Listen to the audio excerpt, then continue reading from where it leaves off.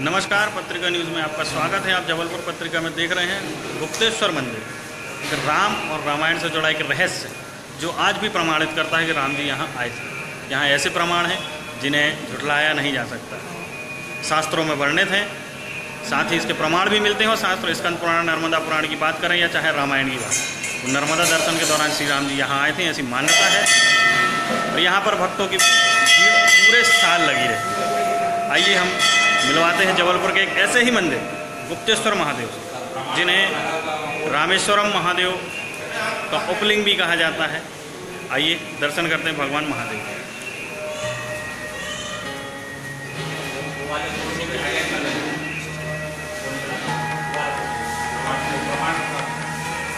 ये महादेव जी का पूजन चल रहा है, मंदिर परिसर में है।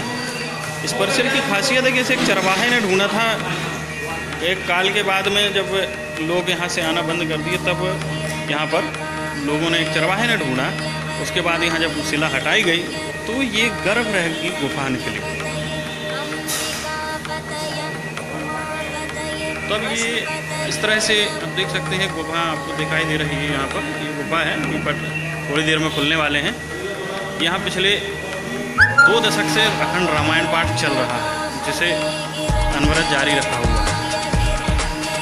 ये प्रमाण के तौर पर ये लगाए गए हैं। पढ़ सकते हैं यहाँ पर कि त्रेता युग में जब भगवान श्री राम वनवास में थे, उत्तर से दक्षिण की यात्रा काल का वर्णन पुराणों में प्राप्त होता है। नर्मदा के इसी तट में गुफा में जहाँ नर्मदा की शुभ धवल पतली धारा निकलती देखी गई, भगवान श्री राम ने अपने इष्ट भगवान महादेव नाथ की स्मृति आई और उन्होंने भगवान शिव की पुत्री हैं नर्मदा चूँकि उनके तट पर आए और यहाँ पर एक रेत से शिवलिंग बनाया, जिसे आज गुप्तेश्वर महादेव के नाम से जाना जाता है। वर्तमान में सावन पर विशेष सवारी यात्रा निकाली जाती है। भगवान के उपासक आइए चलते हैं। इस शिवलिंग की खासियत ये है कि यहाँ पर हर मनोकामना पूरी होती है, ऐसा माना जाता है, और लोग यहाँ पूरे साल बने रहते हैं। सिद्ध है। शिवलिंगों के अलावा भी यहाँ ऐसे रामेश्वरम महादेव का शिवलिंग कहा जाता है महालिंग उपलिंग कहे जाते हैं। ये गुफा देख सकते हैं, महज चार फीट की है। इसी से लोगों का आना जाना होता है। और अभी भोग का समय है। आप देख सकते हैं कितनी भीड़ है भक्तों की। हाँ लोगों का आना जाना लगा रहता है। ये नंदी भगवान है, पुराने बैठे हुए। अभी भोग के द्वार बंद किए गए हैं। दोपहर को भोग लगता है भगवान को। आइए जानते हैं इस मंदिर की खासियत के बारे में। यहाँ के महंत पीठाधीश्वर स्वामी मुकुंदास महाराज जी से। महाराज जी, इसकी खासियत क्या है मंदिर में और क्या विशेषता है? ये स्वयंभू सिद्धपीठ भगवान श्री गुप्तेश्वर के नाम से जो संस्कारधानी जवालीपुरम में बड़ा ऐतिहासिक, बड़ा प्राचीन और पौराणिक स्थान है। यहाँ का वर्णन रामचरित मानस रामायण के आधार पर भगवान का जब वनवास का काल था समय का स्वरूप तो बताया ही गया, लेकिन मूल शिव पुराण में, जो संस्कृत का मूल शिव पुराण उसमें पूर्णतः प्रमाणित हो जाता है। तो जैसे रामायण में सात अध्याय कांड भागवत जी में बारह स्कंद ऐसे ही मूल शिव पुराण में सात खंड है, जिनमें कि कोटि रुद्र संहिता संहिताएँ सात संहिताएँ तो कोटि संहिता नामक जो अध्याय है, उसके प्रथम अध्याय के सैंतीसवा बयालीसवां श्लोक ही स्पष्ट रूप से है कि नर्मदा के तट पर एक गुफा है। गुफा में भगवान श्री राम अपने हाथ से, गुप्त रूप से, जैसे रामेश्वरम में शिवलिंग बनाए थे, रेत के, ऐसे ही नर्मदा की उस गुफा में वहाँ के उपस्थित रेत से शिवलिंग बनाए। उसका नाम गुप्तेश्वर पड़ा। नर्मदायाम प्रसिद्धम तटे रामेश्वराच यज जाता गुप्तेश्वर मध्य स्मृतम ऐसा शिव पुराण में वर्णन मिलता है। भगवान राम जब यहाँ आए, उत्तर से दक्षिण की ओर जा रहे थे, और तब नर्मदा को जैसे ही उन्होंने देखा, क्योंकि नर्मदा भगवान शिव की पुत्री है इदम माहेश्वरी गंगा, माहेश्वर तन उद्भव, महेश्वर के तन से उद्भव हुई, कंठ से निकली है नर्मदा। और भगवान राम के इष्ट हैं शिव और शिव के इष्ट हैं राम। जैसे ही भगवान शिव ने अपने इष्ट को देखा और राम ने शिव को देखा और इसी बीच में नर्मदा देखी, नर्मदा के प्रति अगाध प्रेम जागा और तब उन्होंने क्योंकि चौदह माह से ज़्यादा हो चुके थे, अयोध्या से निकले हुए और अपनी इसकी साधना अभी तक नहीं किया। था मन में ख्याल आया कि क्यों ना हम गुप्त रूप से साधना करें अपने भगवान शिव और नर्मदा निधि गई।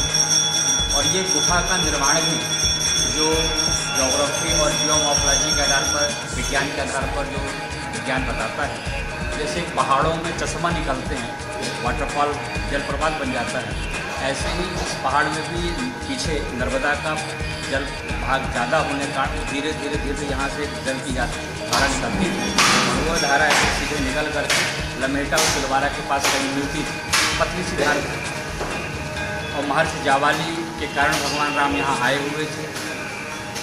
और इस गुफा के अंदर तब भगवान राम भैया लक्ष्मण यहाँ विशेष आयोजन कब तक और क्या होते हैं?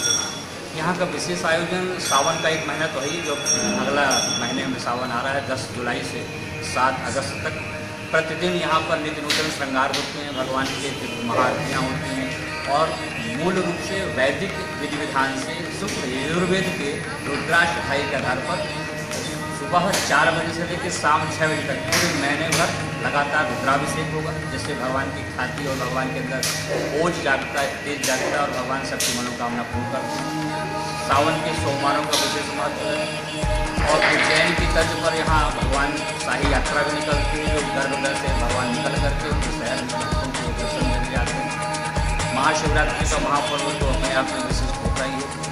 इस तरह से पूरे वर्ष भर लगभग लगभग भगवान के कार्यक्रम चलते रहते हैं। दूर दूर से चूँकि रामेश्वरम के उमलिंग के रूप में